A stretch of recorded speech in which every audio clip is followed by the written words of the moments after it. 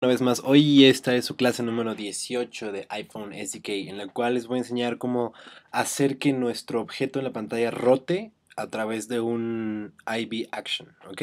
Entonces, sin mucho más que decir, vamos a comenzar a hacerlo. Entonces, vamos a declarar una IB Action. Em, esto es en animación viewcontroller.h. Em, bueno, para los que abrieron este tutorial, en los, empecé un proyecto hace tres o cuatro tutoriales en el que estoy construyendo una app de animaciones. Entonces, si quieren verla toda, pues regresen unos cuantos. Me parece que comienzo en el 15. Sí, bueno. Entonces aquí le voy a poner rotar. Y eso es, ese va a ser mi método. Y aquí me lo voy a llevar para mi punto M. Sencillo. Me vengo a mi punto M y aquí abajo de trasladar lo voy a poner para que se vea simétricoso mis paréntesis estos y vamos con manos a la hora. Vamos a poner, igual que hace rato, paréntesis cuadrados, UI View Begin Animations, UI View Begin Animations at Advanced Animations Context Nil, ¿sí? Listo, entonces aquí lo que voy a poner después va a ser la duración, igual. UI view set animation duration curve no duration duration. Aquí le voy a poner que será 1.7 a lo mejor es mucho, ponle 1.3 me gusta más. Y ahora vamos a poner ok. Bailarina punto transform ok es igual a cg affine transform affine transform make ok no. Oh no se borró todo ok entonces a ponerle ok otra vez bailarina punto transform va a ser igual a ok ahora sí va a salir bien se me tiene que olvidar. Cg affine transform make. Transform make a. Make rotation. Ok ahí está. CG float angle. Entonces ahí yo le voy a poner un float que va a representar un ángulo pero bueno ojo aquí yo le voy a meter un valor en radianes ok. Entonces yo le voy a meter un un valor entre 0 y 2 por pi, justo, ¿no? Porque si yo recuerdo mis clases de matemáticas, 2 pi radianes equivale a 360 grados. Entonces, pi radianes equivale a 180 grados. ¿Están de acuerdo conmigo?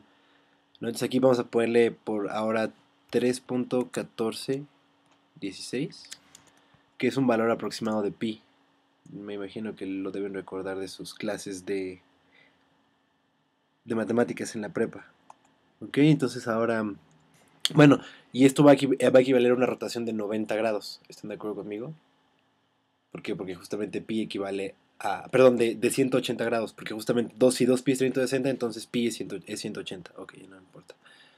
Entonces ahora vámonos a UI View. UI View. Commit Animations. Ups, ¿cómo salió? ¿Quién sabe?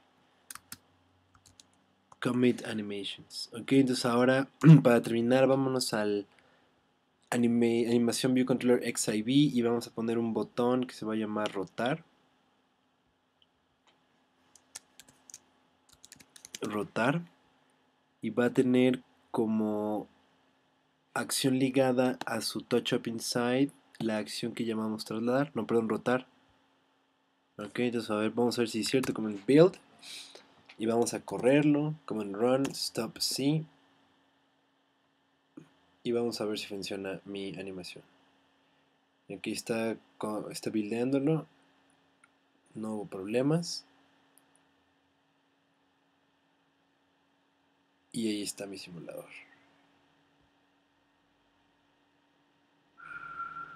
Vamos simulator come on. Lo siento Listo, entonces ahí está. Vamos a ver si funciona mi botón rotar. Perfecto, funciona. Ok, bueno. El problema aquí va a ser que ya no voy a poderlo regresar. Entonces vamos a, vamos a poner un, un botón que va a ser que la va a regresar a su estado original, ¿ok? Para lo cual vamos a primero a cerrar el simulador y después nos vamos a regresar a animación viewcontroller.h vamos a definir un nuevo método llamado eh, regresar. Vamos a ponerle aquí un, nuevo método, perdón, una nueva IB action llamada regresar. ¿sí? y vamos a copiarla. Así y nos lo vamos a llevar al punto M. Abajo de rotate de rotar vamos a poner a pegarla y escribir lo siguiente listos vamos a, vamos a escribir otra vez. Ya saben lo de UI view animations y lo de duration pero aquí ya no lo voy a escribir solo lo voy a copiar. Porque ya estoy hasta el cansancio de eso estarlo escribiendo tantos tutoriales y tantas veces lo mismo. Entonces nada más le voy a cambiar a uno para que sea un poquito más rápido que se vea que lo estoy regresando. Mm, aquí lo que vamos a hacer va a ser otra vez usar el punto transform. Vamos a poner bailarina.transform. Va a ser igual a... Chequense esto. Este, este, este método está bonito. Me gusta. Es cgAffine transform identity. cgAffine transform... Oh, no, de nuevo. Escribe todo eso.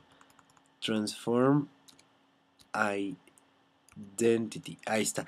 ¿Qué quiere decirle eso? Le dice, que transforma el, el objeto bailarina a su identidad, es decir, a como estaba antes sin aplicarle transformaciones. ¿Ok?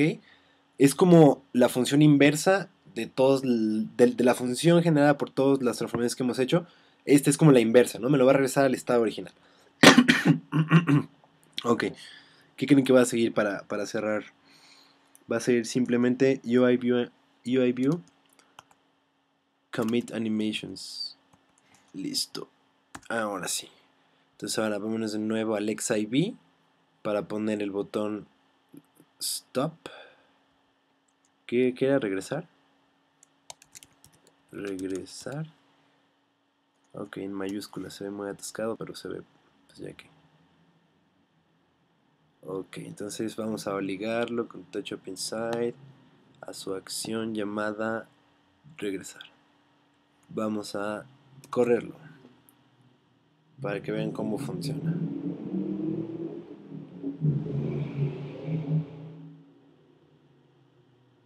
Aunque tenganle paciencia a mi simulador, ya tengo muchos proyectos en esta compu y pues se tarda un poco en encontrarlo y en instalarlo, pero pues sigue siendo muy bueno.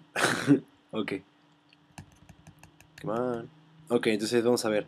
Rotar y pues regresarme, me lo regresa como estaba, ¿ok?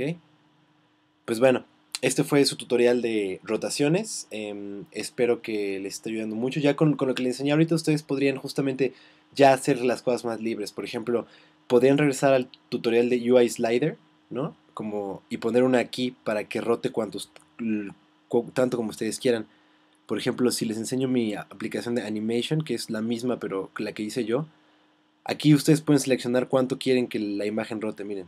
¿No? En el UI Slider escogen los, los radianes y le pueden ir moviendo. ¿no? Entonces, pues intenten hacer eso. Ya pueden empezar a mezclar muchas de las cosas que les he enseñado para que les queden apps así de padres.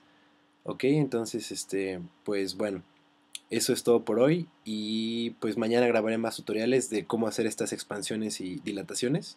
Miren eso, está loco, ¿no? Este, yo creo que serán dos o tres más de animaciones y ya nos iremos a otro tipo de manejo de datos. Entonces, bueno, gracias por verme. Recuerden suscribirse y deditos arriba, deditos arriba. Vamos. Hasta pronto.